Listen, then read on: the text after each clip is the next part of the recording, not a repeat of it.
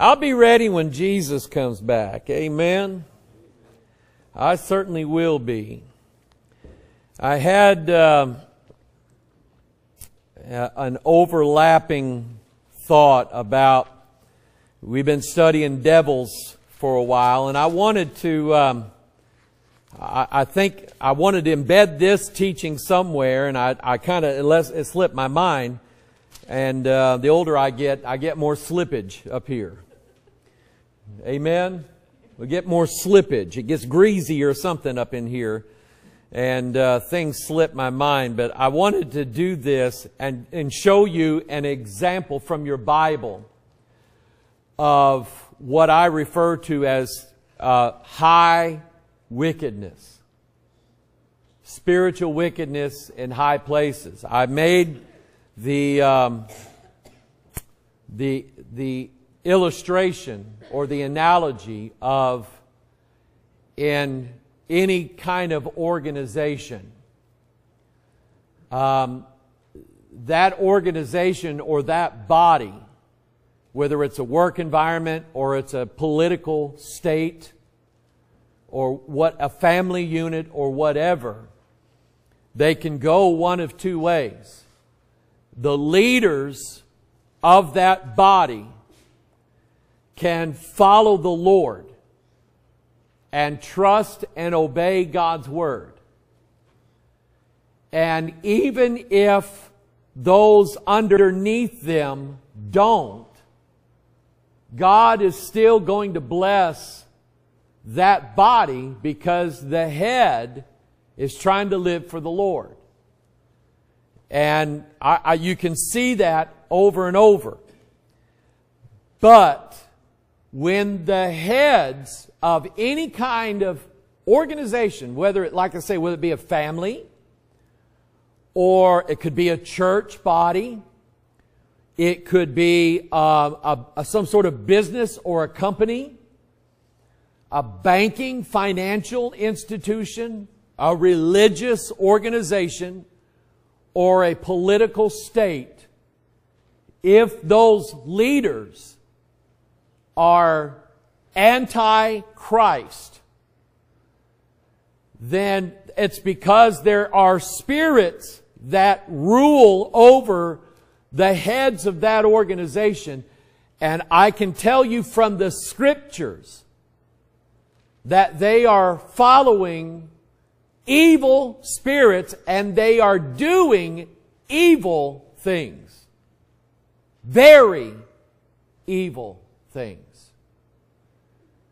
So let me give you an example. We'll read the scriptures. Uh, let me give you this example, or, or I ask you a question. Do you believe that there could be, let's say, some sort of secret private club where the elite of, of a, let's say, let's say New York City there's a lot of big business based in New York City, right? The executives and the high ranking people in these companies, they make a ton of money. They have a lot of power because of that money. They have political power. They have financial power.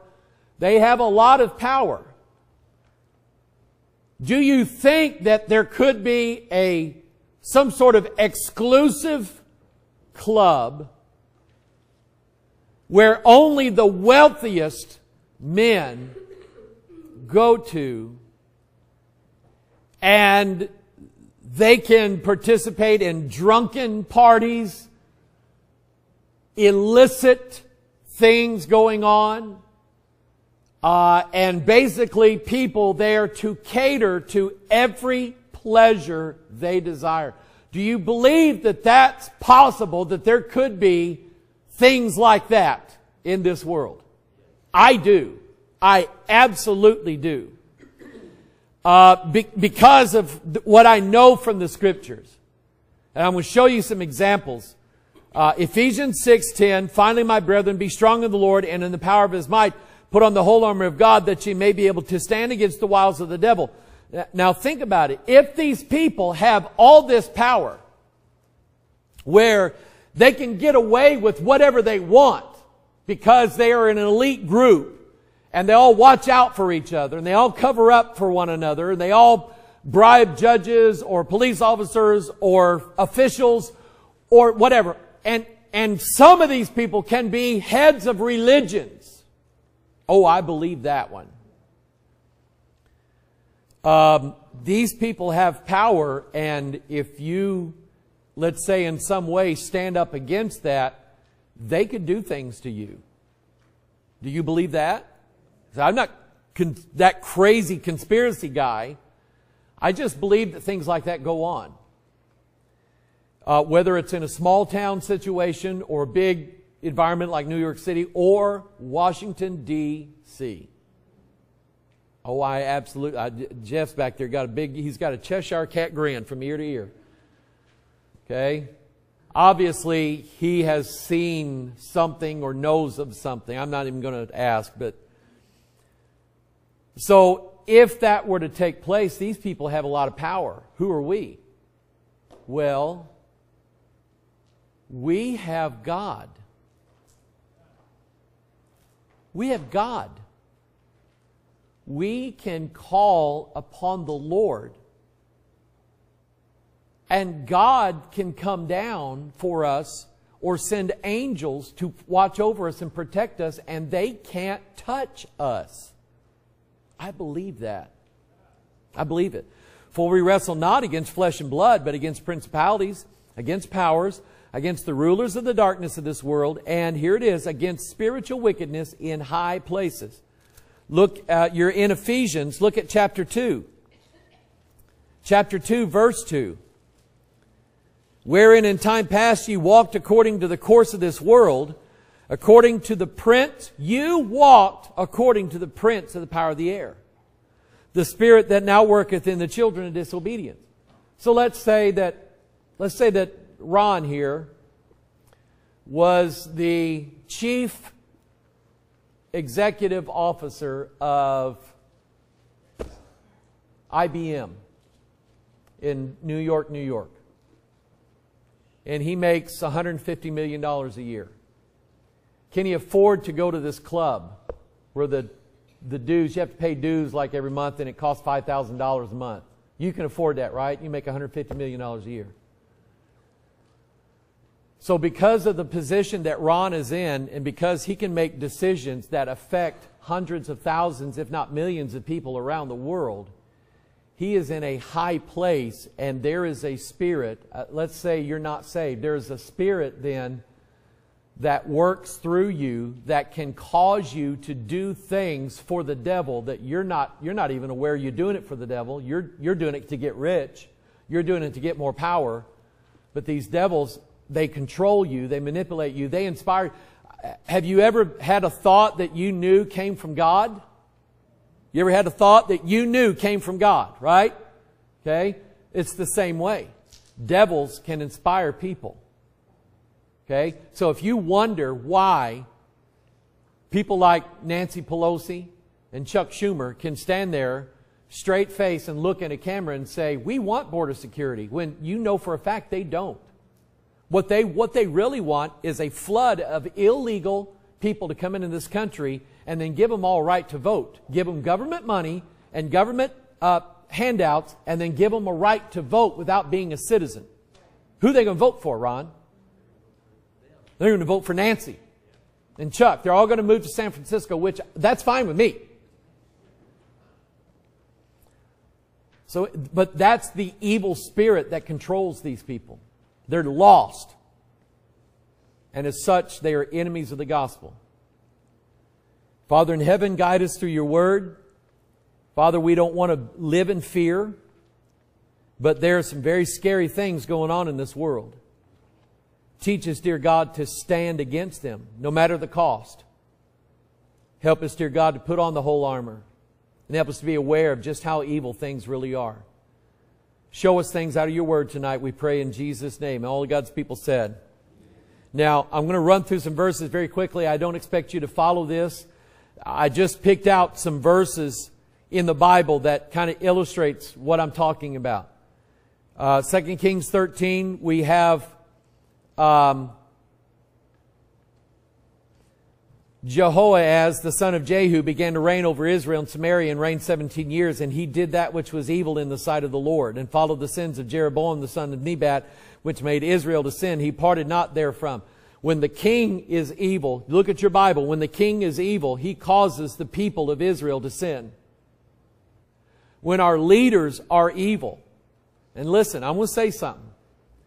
I like some of the things Donald Trump has done in this country but his wickedness and immorality scars the office of the President of the United States. It scars that office. And he can do things that we like, that we, that sound like something a right-wing Christian person would do, but he is not a Christian man. Not. He has committed terrible sins and used his money and power to try to cover those sins up. Okay? And that's what's coming out about it. And I have no doubt about it whatsoever.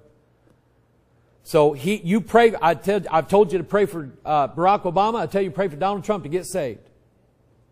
Okay? But when it starts at the top, the evil trickles down. Uh, in same chapter, verse 10. Uh, we have Jehoash, the son of Jehoahaz, to reign over Israel and Samaria. He reigned 16 years, and he did that which was evil in the sight of the Lord, and departed not from all the sins of Jeroboam, the son of Nebat, who made Israel to sin. Then we have Jeroboam, the son of Joash, king of Israel, began to reign in Samaria. Reigned 40 and one years, and he did that which was evil in the sight of the Lord. He departed not from all the sins of Jeroboam, the son of Nebat, who made Israel to sin. And then we have Zechariah, the son of Jeroboam, reigned in Israel and Samaria six months. He did that which was evil in the sight of the Lord. He was so evil, God only allowed him to reign six months. Six months, and God had him killed. He made Israel to sin. 2 Kings 15, we have Menahem, the son of Gadi, to reign over Israel. And he reigned ten years in Samaria, and he did that which was evil in the sight of the Lord. He departed not all his days from the sins of Jeroboam, the son of Nebat, who made Israel to sin that those wicked and you can take this and I I did not include all of the places in the Bible where it talks about a king and how evil he was. I just picked out a few to show my point. These kings represent spiritual wickedness in high places. And it was because of them that God took the ten northern tribes and booted them out of their land by having the Assyrians came and take them and made them to be slaves. And then the two southern tribes, Judah and Benjamin, Nebuchadnezzar came and got them for 70 years, took them out of their houses, took them out of their land, away from their cattle, away from everything, made them slaves in Babylon for 70 years because of the spiritual wickedness that was in the high places. And the voting American does not understand this. They do not understand that when you elect corrupt people to office, I don't care if they're Democrat or Republican, when you elect corrupt people to office, they corrupt the office. Ezekiel chapter 8. Now I want you to turn there. Ezekiel chapter 8. God showed Ezekiel, and He's going to show us spiritual wickedness in high places and how it works. Ezekiel is going to be able to get behind the scenes information. Who in here has ever wanted to plant like a camera in some evil, wicked, liberal politician's office just to hear what goes on every day. I tell you what I'd like to do. I'd like to put a camera and a microphone in the offices of Benny Hinn, Joyce Meyers, Creflo Dollar, all these other quacks that are online to hear the actual lifestyle of these people. Because I believe the Bible, I believe they are full of sin. full of wickedness. I believe that. Because of the high position and power and money that they hold. They control everything.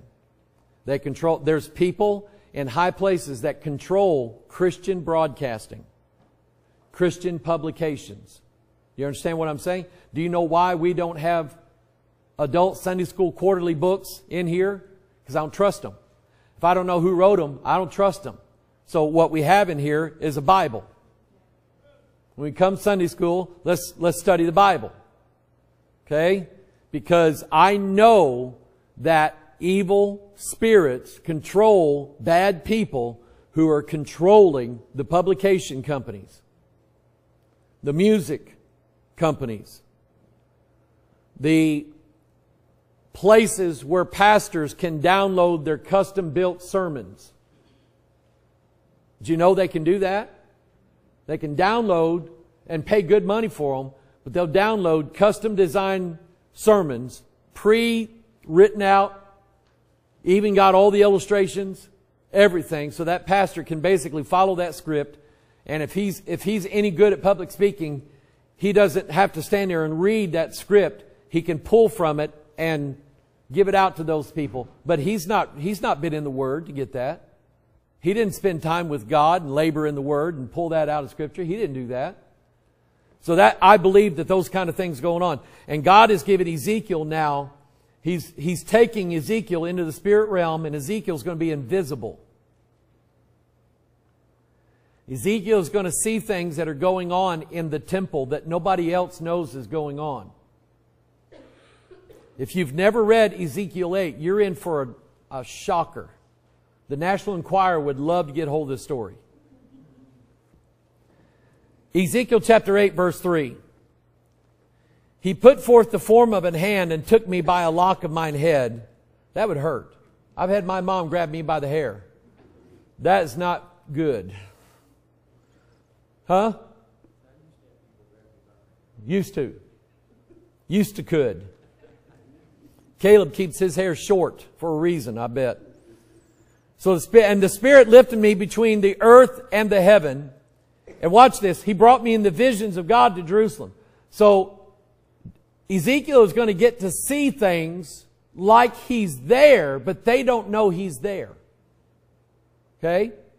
It's like Ezekiel has a security camera and a microphone in these rooms with these people watching what's going on behind the scenes. So he went to the door of the inner gate. He brought me in the visions of God to Jerusalem, to the door of the inner gate that looketh toward the north.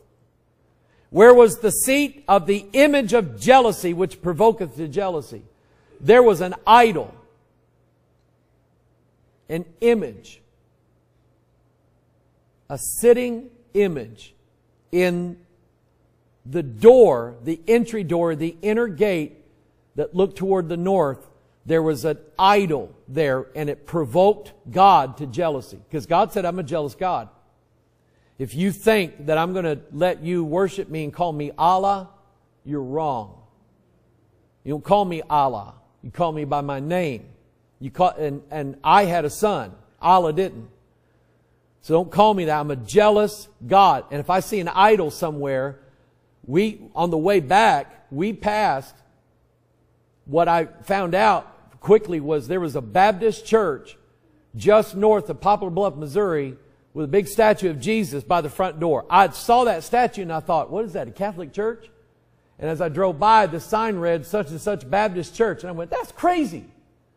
But they got it, they've got an idol, a statue of Jesus Christ, from what I could see, and I was only doing miles an hour up that way.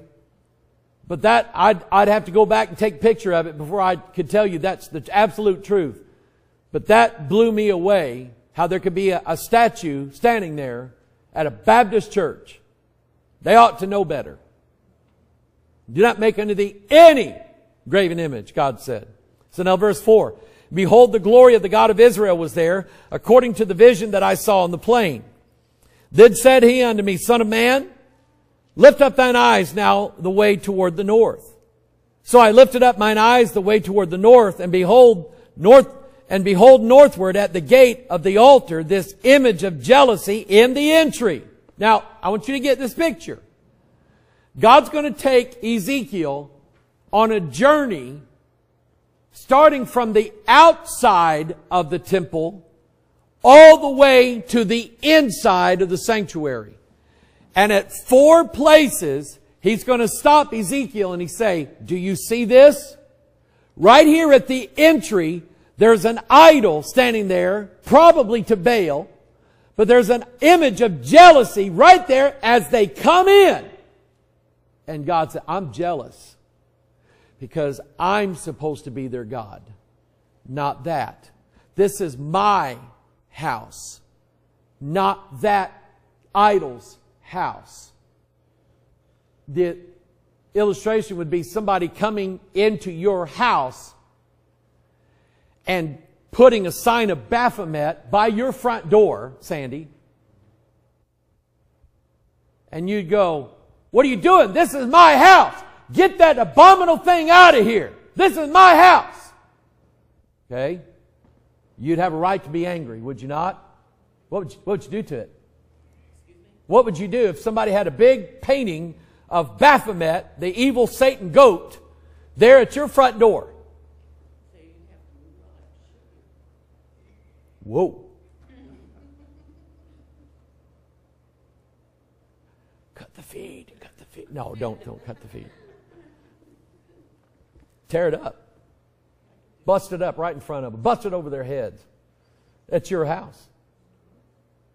Wouldn't you be jealous? What, Ron, wouldn't you be jealous if another man was trying to make entry into your house while your wife was in there? That's your house and that's your wife. And God saw Israel as his bride and that was his house. And he said, How dare you? And see, the thing is, Israel, the bride, the wife, invited that idol in, put it there on purpose.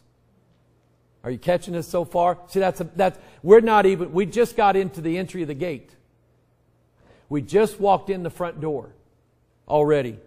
So verse 6, he said, Furthermore unto me, son of man, seest thou what they do? Even the great abominations that the house of Israel committeth here, that I should go far off from my sanctuary. But turn thee yet again, and thou shalt see greater abominations.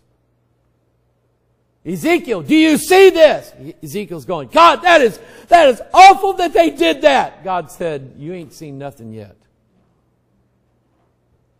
It's actually worse as we go in.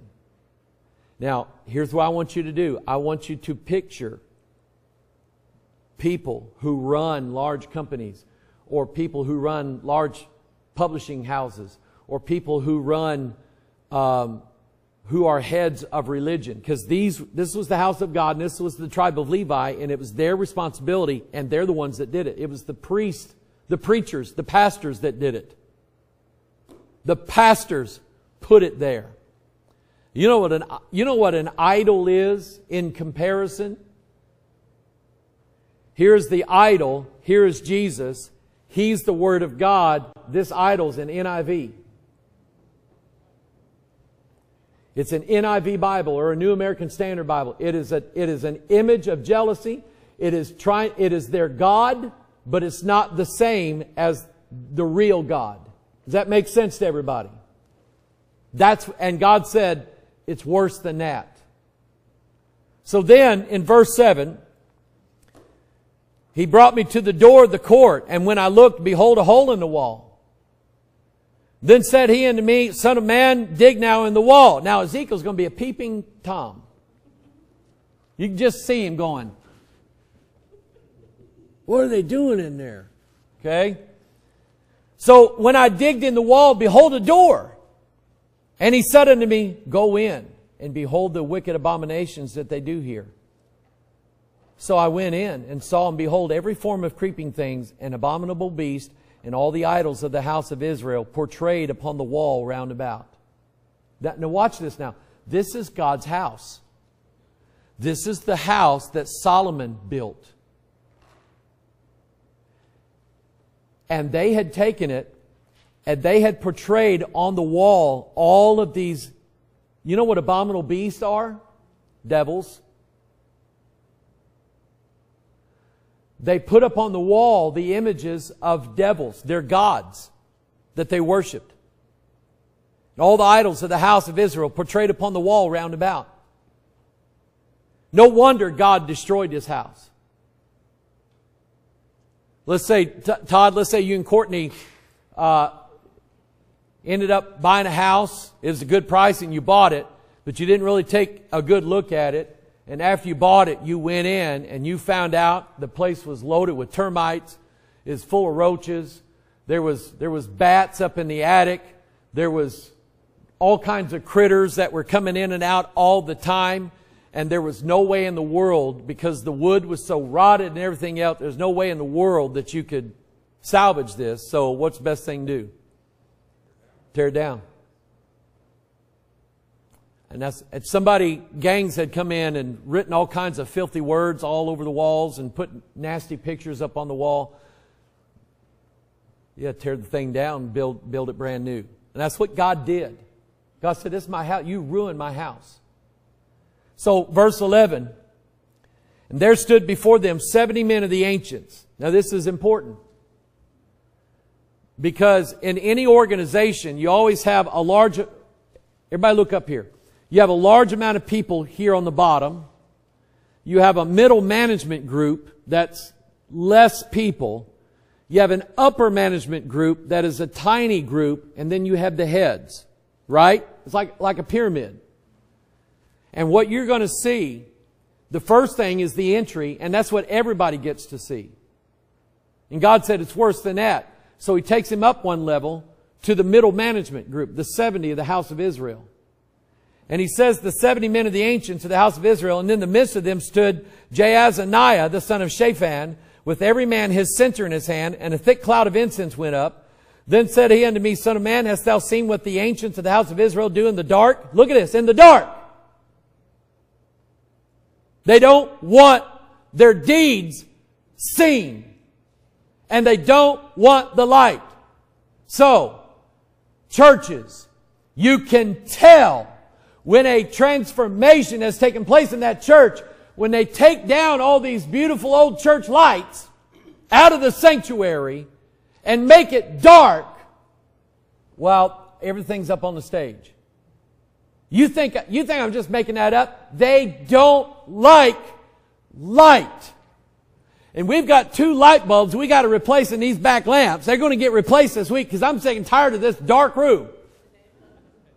I don't like it dark in here. I don't want it dark in here. I want light. Amen. You look at this. They're in the dark. Uh, Hast thou seen what the ancients of the house of Israel do in the dark, every man in the chambers of his imagery? For they say, the Lord seeth us not. The Lord hath not forsaken the earth. The Lord hath forsaken the earth. The Lord seeth us not. You know what that means? We can do whatever we want to do. And do they? Do the priests molest boys? They do it in the chambers of darkness. God seeth us not, is what they say. Now that's the second thing that he saw. And it's worse. He's going to say, it's worse, Ezekiel. So look at verse 13. He said also unto me, Turn thee yet again, and thou shalt see greater abominations that they do. Then he brought me to the door of the gate of the Lord's house, which was toward the north, and behold, there sat women weeping for Tammuz. I'll explain him in a minute. Then said he unto me, Hast thou seen this, O son of man? Turn thee yet again, and thou shalt see greater abominations than these. He's seeing women here in the house of God at the, at the gate, at the north side. Do you know what was on the north of the tabernacle? Huh? Table of showbread. That table of showbread is Jesus. It represents Christ. But instead of Christ being there, let me tell you who Tammuz is. Was, was it you and I that was talking about J.R. Tolkien and C.S. Lewis a while ago? In ancient mythology, most cultures have a story of a God that offered his life in sacrifice for people, for the benefit of people, and is awaiting to be reborn and resurrected. Tammuz is a name for the Antichrist, the beast, the man of sin, the son of perdition. Because he is a dying God. He has a wound in his forehead, a deadly wound. But in Revelation 13, we see that that deadly wound gets healed. He then is resurrected from the dead. So these women weeping for Tammuz, do you know what that developed into? Lent.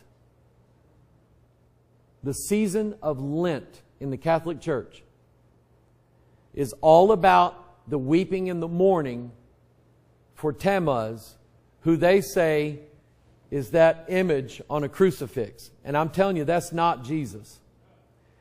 It is not Jesus.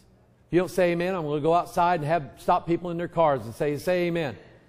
That is not Jesus. That's Tammuz.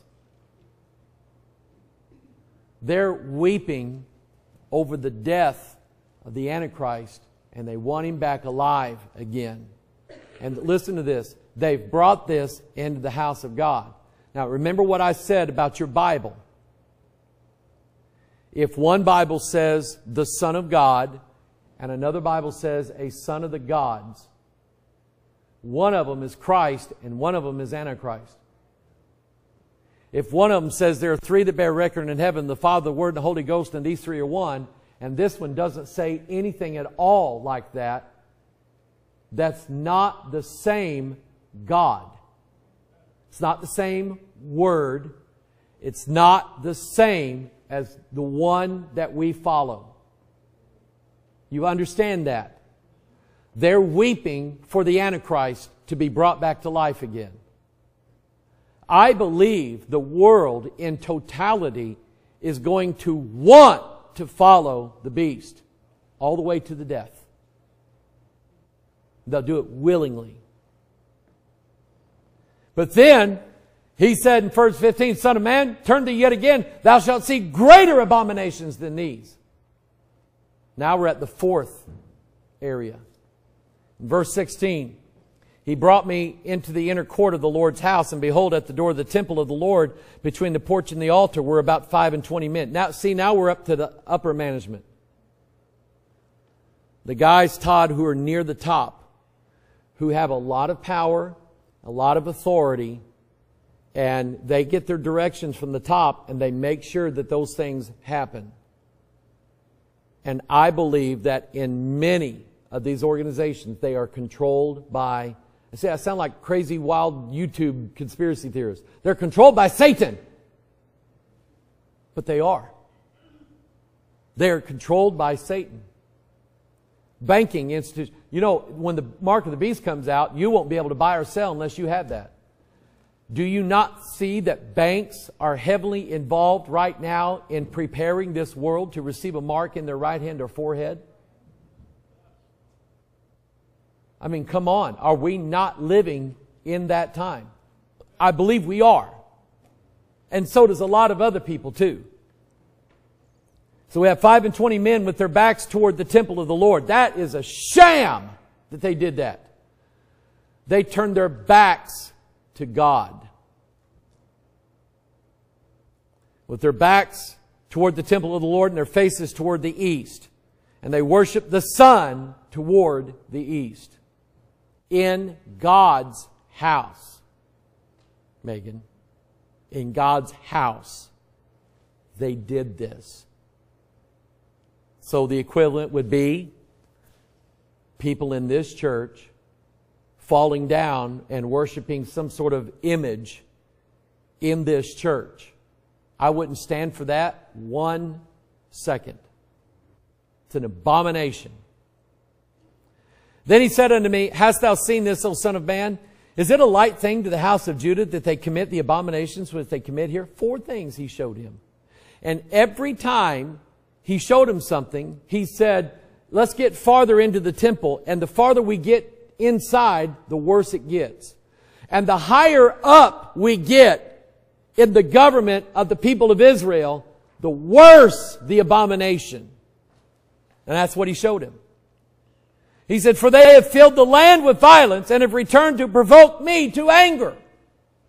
And lo, they put the branch to their nose. Do you know what that means? Do you know what that means? I don't either. Lord, show me what it means when they put their branch to the nose, to their nose. Therefore will I also deal in fury. Mine eye shall not spare, neither will I have pity. And though they cry in mine ears with a loud voice, yet will I not hear them. Where does judgment begin, people?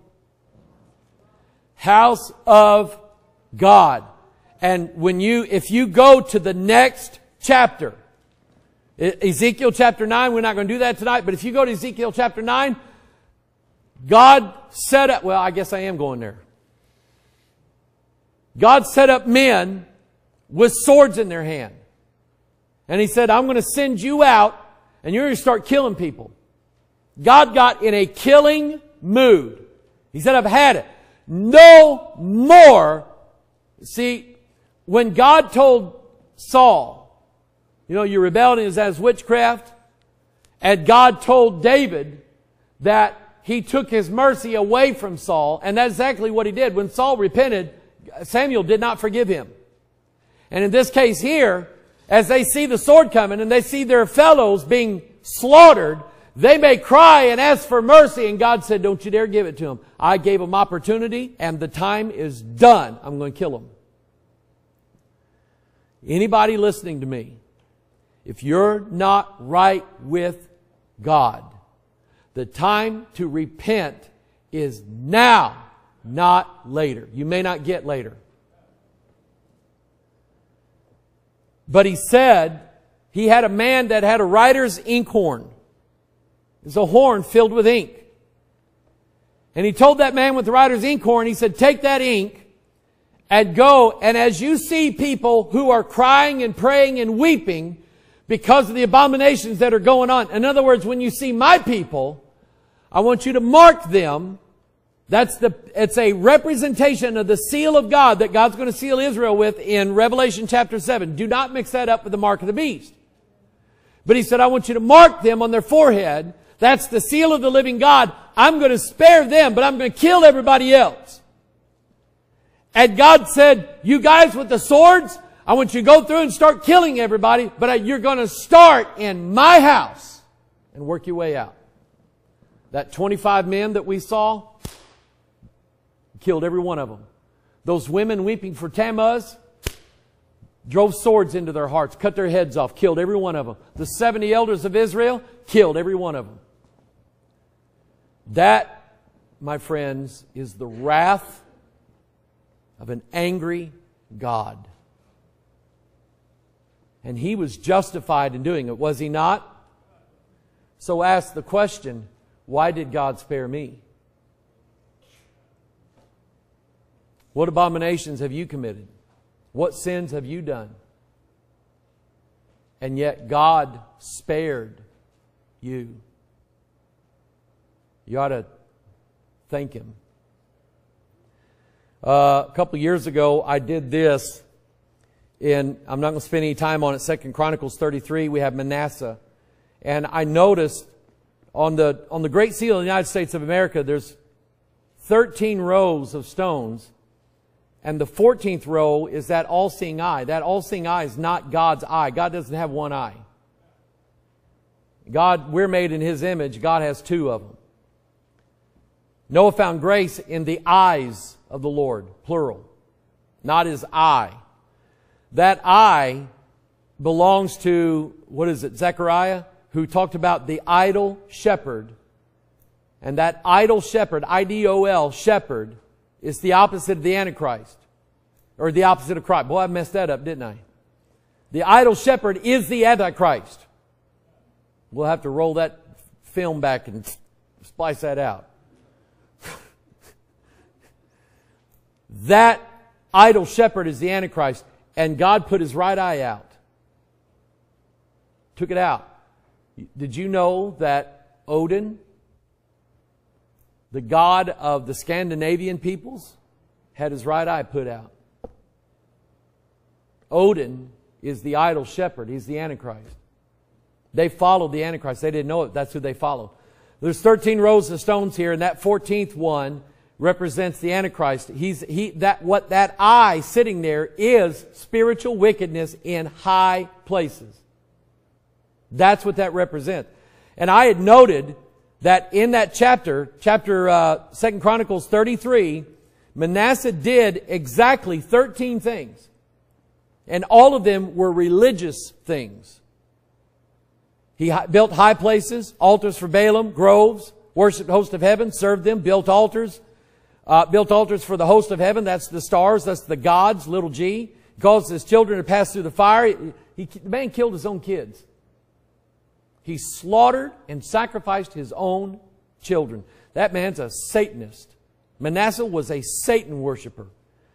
He observed times, he, that means astrology, used enchantments, used witchcraft, dealt with familiar spirit, and with wizards. That's the 13 things that he did. The 14th thing was different. The 14th thing Manasseh did was something no other king had done. He said of carved image, the idol which he had made in the house of God. He went into the most holy place, I believe, Spencer, and he put an idol right there. Maybe he took the Ark of the Covenant out. I don't know, but he put it right there. That's our new God now. The Antichrist is going to oppose and exalt himself above all that is called God or that is worshiped, so that he as God sitteth in the temple of God, showing himself that he is God. And in Ezekiel 14, you want to study this out this week? Be a good study for you. Ezekiel 14, God told the men of Israel, they came to him and said, Ezekiel, will you inquire to God for us? And God told Ezekiel, He said, Ezekiel, let me tell you about these men. They are spiritual wickedness in high places. They have, they have idols in their heart. Now I want you guys to look at me for a minute. Okay? and will look at you eye to eye because I love you. What are your idols? What are the idols in your heart? Don't tell me. And don't act like you don't have one. Or I'll say it like this I think you're good people, but with everybody, there is a stumbling block of iniquity. And that's what Ezekiel 14 said. Something that the devil will use to cause you to fall. And it's easy to do. It's easy. He does not have to work hard to get you to do it. It's easy. Get rid of it. Get rid of it because I want to tell you something.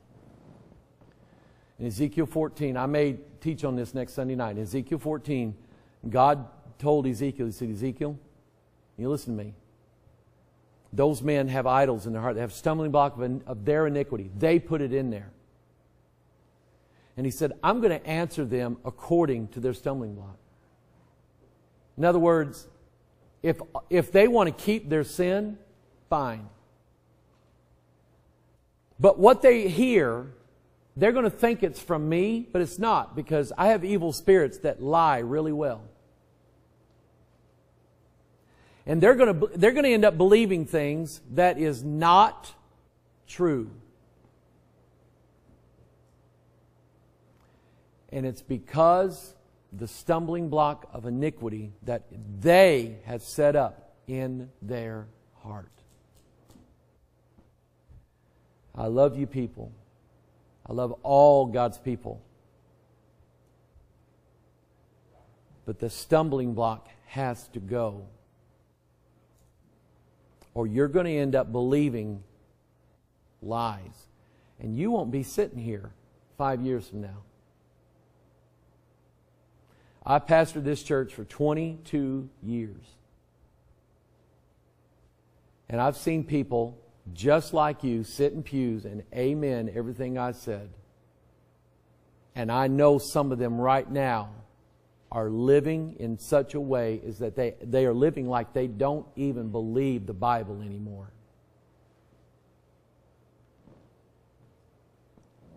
I just found out the other day a boy that I grew up with in this church, got married in this church, is an atheist now. An atheist. Beer guzzling atheist. Does not believe in God. And he sat in this church, listened to sermons just like I did, and, and, and said amen to things that I preached. He's an atheist now. You know why? You know why? He had a stumbling block of iniquity. And God allowed him to believe a lie. And I don't know if there's hope for him or not. I hope there is. I don't want to see him go to hell. But he will. And I don't want that I don't want that to happen to you guys. Get rid of it. Let's pray.